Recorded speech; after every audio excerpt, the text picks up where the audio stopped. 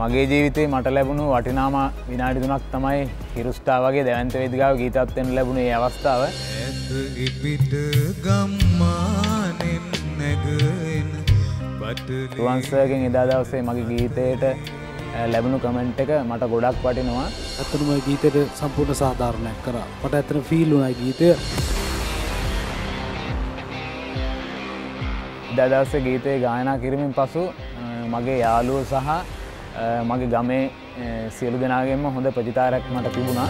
මලානෙකව හඳ එලිය ගලා එන අම්බලමක හෙවනේ ඉතින් මේ පාර මගේ බලාපොරොත්තුව තමයි පෙරලා තුන් දෙනාගේ මනාප තුන මරගන ප්‍රේක්ෂ මනාපත් මනාපයත් ඉහළම් ප්‍රක්ෂතයක් ලබාගෙන සකන් රවුන්් එක වින් කරන එක. ඉතින් ඒ සඳහා ඔයාල සියලු දෙනාගේම වෝට් එක මට අද දවසේ මගේ ගීතයට ලබා දෙන්න කියලා ආදරෙන් ඉල්ලා සිටිනවා.